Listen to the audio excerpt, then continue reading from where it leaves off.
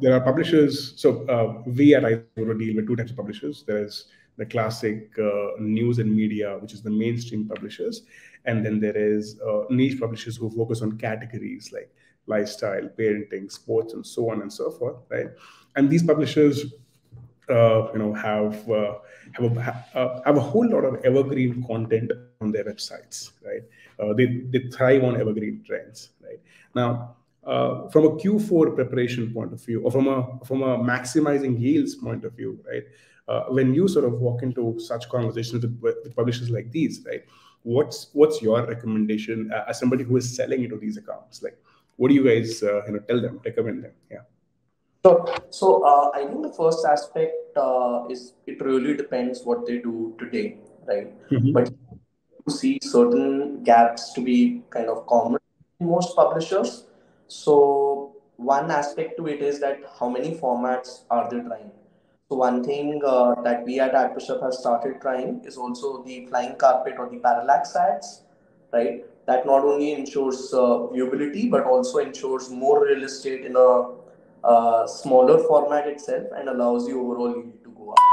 Uh, likewise, uh, we've also started focusing on uh, the video side of things as well with respect to the mm-hmm. So these aspects, uh, these aspects are a few common things to look into. Mm-hmm. And top of it, uh, it's also to analyze what the current setup usually has. So header bidding today is uh, almost on 60-70% of the sites you'll find uh, header bidding.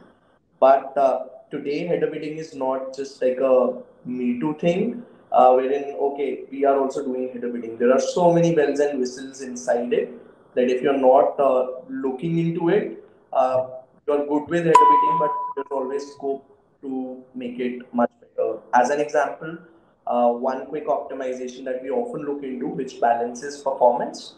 Uh, and that is often that Abhinav and me speak about that performance is today not just the revenue, but also the page speed with core web vitals and everything coming into the picture. Yeah.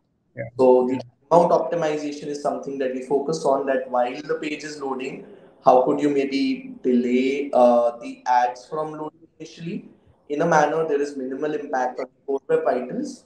By the time the user settles in, the refresh timeouts as well as the uh, timeouts for refreshed ad options could be higher, right? While these might sound small, but they not only help the revenue, but the overall holistic performance with respect to core web vitals, which then impacts your search ranking and gets you better quality traffic overall. That's true, right? Well, uh, you know, great answer actually. In fact, uh, this specific publisher uh, focuses on a lot of lifestyle content, right? Uh, and from what I can see on the website right now, they don't do a lot of video content. Video, ad, uh, they haven't been trying video as ad format, right? But help me understand. Would you? Uh, a lot of people refrain from trying out new stuff in the last quarter, given the fact that it's so mission critical from a revenue standpoint, right? Is that something that you would recommend uh, at this uh, uh, at this at this stage of the year?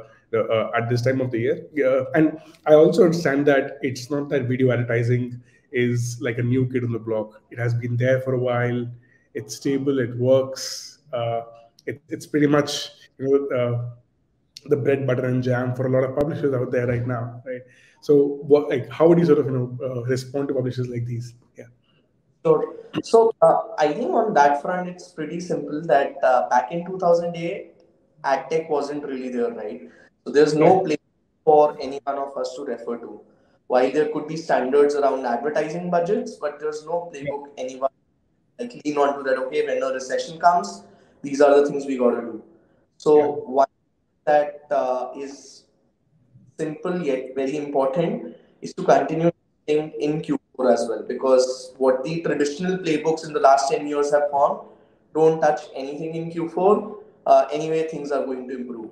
But at the same time, if you're not testing, uh, this time around, uh, you could be hit really, really bad in Q1 and you could miss out on seeing uh, every single penny in the best time of the year. So, again, maybe uh, it's the gambler's mindset that okay, this is it. Let's make the most out of it and ensure uh, that uh, I know it's like a doomsday conversation that Q1 and recession in 2023 is going to be hard. Uh, but what do you do to ensure not just max out the performance uh, in Q4, but also be prepared for 2023? And also previously, uh, Abhinav, when you were speaking about uh, cookies going to go dead, but I often uh, mention this that they're already dead. It's just that we don't value that bit of the internet that much. That's on Mozilla and Safari. And uh, continuously, if we only focus on even India, Apple sales are going up every day, which basically means the Safari users. Why that is true. far-fetched issue, but uh, we've already started to get the taste of it. It's like the deathbed on these platforms, which would yeah. allow prepared for Chrome.